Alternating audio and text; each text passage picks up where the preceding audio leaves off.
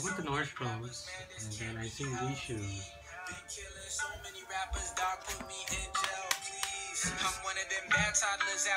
For like 200 bucks. Converse that has a heart on them. So, figure I just do my own shoes, each hand, 20 bucks.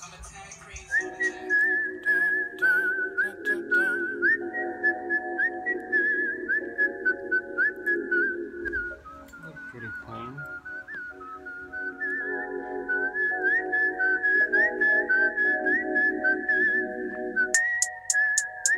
Log.